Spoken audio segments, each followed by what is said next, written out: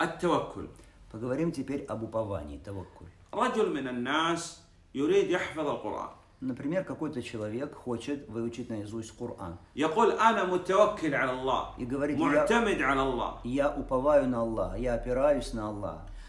كيف نعرف أنه متوكل توكل حقيقي Как мы поймем, действительно ли он, по-настоящему ли он уповает на Аллаха? بأمور ثلاثة Мы узнаем это посредством трех вещей. هل أنت صادق في اعتمادك على الله أو كاذب Во-первых, правдивым ли ты являешься вот в своей опоре на Аллаха или нет?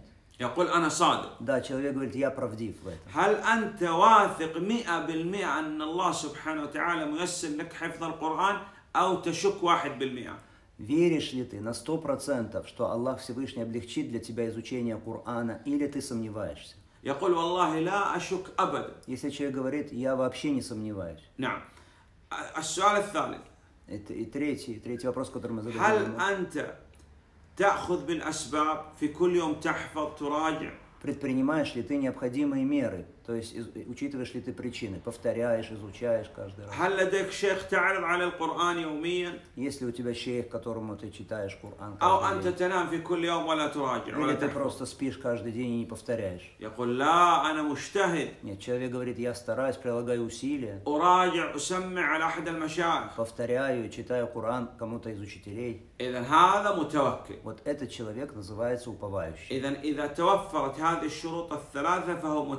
Если вот эти все три условия в наличии, значит этот человек и есть уповающий. А иначе он не называется уповающим.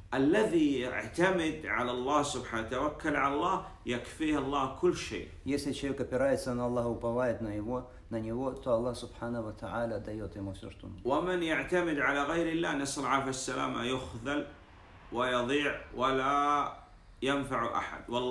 Если же человек уповает не на Аллаха Субхану Тааля, такой человек несет потерю и неудачу и никому не принесет пользы.